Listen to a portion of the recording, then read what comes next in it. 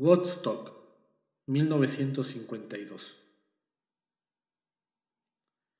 El aclamado pianista David Tudor se sentó ante el piano, levantó la tapa y no ejecutó una sola nota. Pasaron cuatro minutos y treinta y tres segundos no de total silencio.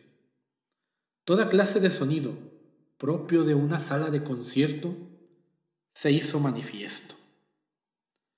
No faltaron las toses,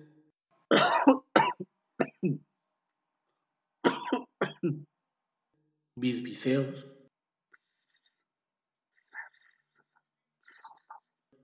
roce de ropas y hasta el gozne de una puerta.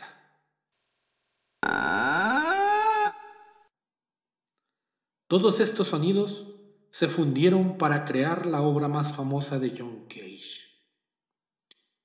la 433. Nacido en California en 1912 y muerto 80 años después en Nueva York, fue Cage músico, inventor y científico, explorador de los misterios del sonido acusó la poca atención que el mundo prestaba al silencio y por eso quiso jugar con ello. Sostenía Cage, al igual que el sabio de Samos, que el silencio total no existe. No, porque a medida que unos sonidos se apagan, afloran nuevos, más leves y más sutiles.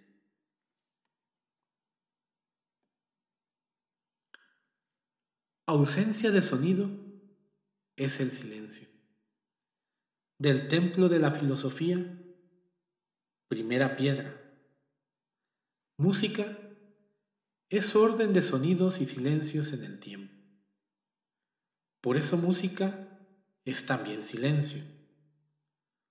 Con maestría le manejan el sabio compositor y el más fino intérprete. La música con silencios es la más bella. El silencio es un recurso efectivo de contraste. El más refinado sonido aparece majestuoso en el silencio espléndido.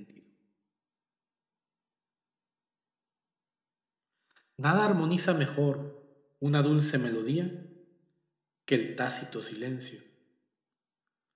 Cuando habléis, procurad que vuestros versos sean mejores que el silencio. El buen Calderón decía, no es música solamente la de la voz que acordada se escucha, música es cuanto hace consonancia. Entonces, con todo esto, dígame maestro, ¿qué es el silencio?